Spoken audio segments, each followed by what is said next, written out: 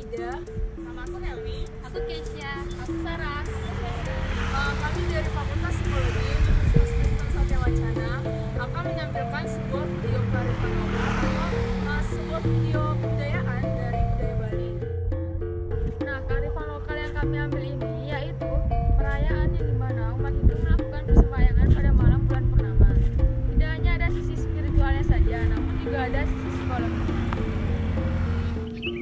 kalian mau tahu bagaimana kearifan lokal dapat mempengaruhi sisi psikologis seseorang?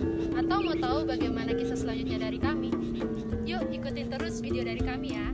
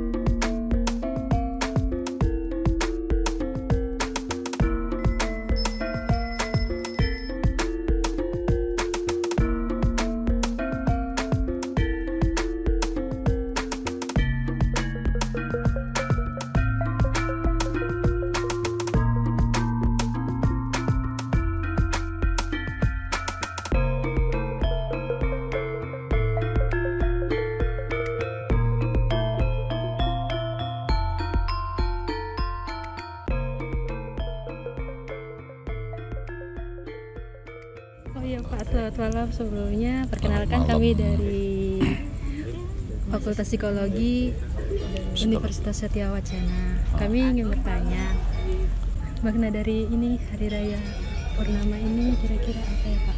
Begini, eh, di dalam konsep Hindu Dharma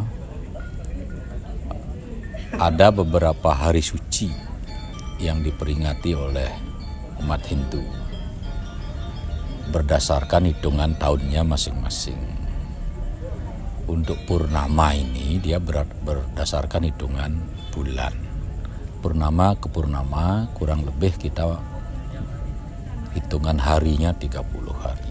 Apa pun bentuk pemujaannya itu, hari apa pun namanya. Ada tilem nanti juga, kemudian ada galungan, ada kuningan, ada nyepi, itu semua hari-hari suci.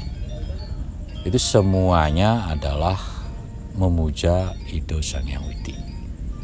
Tuhan yang Maha Esa.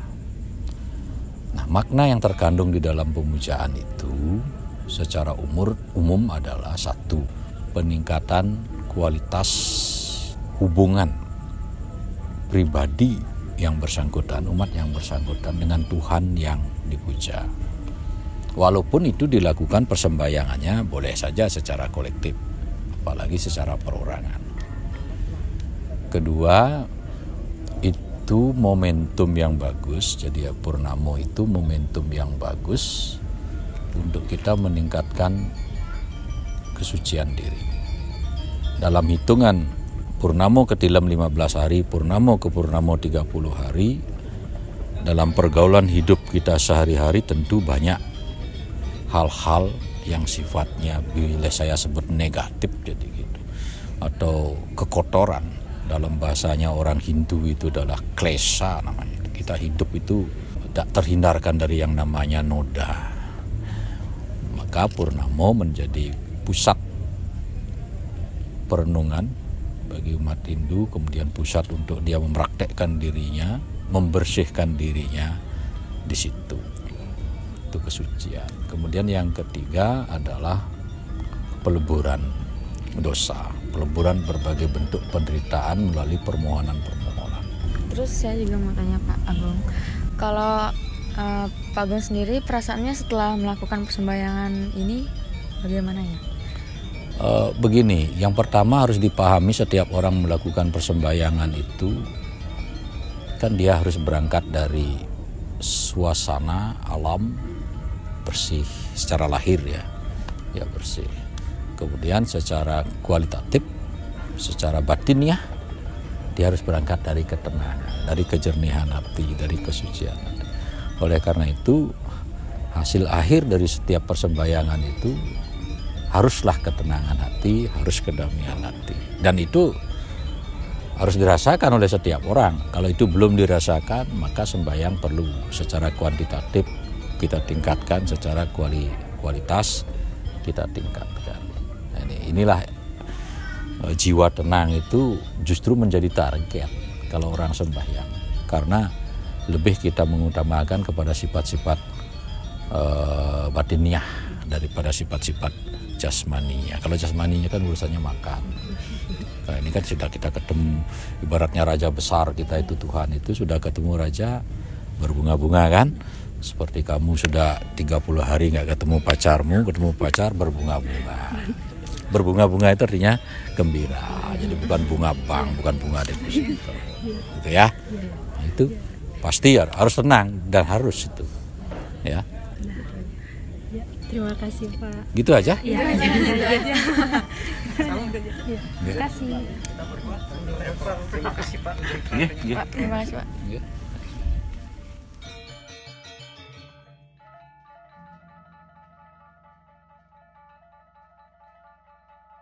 Bagaimana perasaan kamu setelah mengikuti sembayang ini? Eh, setelah saya mengikuti persembahyangan purnama pada malam hari ini, mungkin perasaannya lebih tenang, lebih fokus, lebih ikhlas, lebih baiklah daripada waktu sebelum datang ke sini. Dah, dah, dah. Terima kasih. Ya. Nah, jadi nih kan kalian eh, teman-teman udah ngeliat tuh kearifan lokal yang di Bali itu kayak gimana. Nah, menurut pendapat teman-teman, menurut pandangan teman-teman, eh, kearifan ini tuh kayak gimana sih?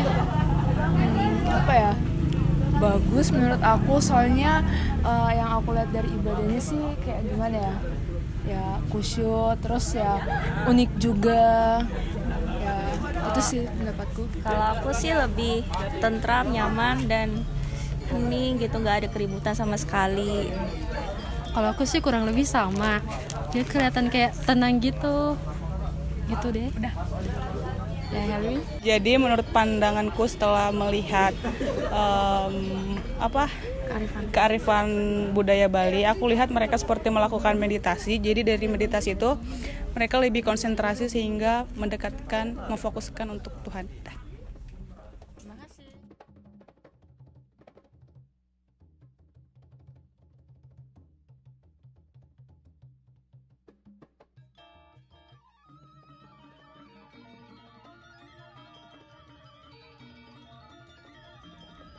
Sekian video dari kami jangan lupa like jika kalian suka Komen jika ada yang ditanyakan. Dan jangan lupa untuk di subscribe. Juga share jika kalian merasa bahwa video ini bermanfaat. terima kasih Arigato. Danke. Kamsahamnida. Sia-sia. Bye.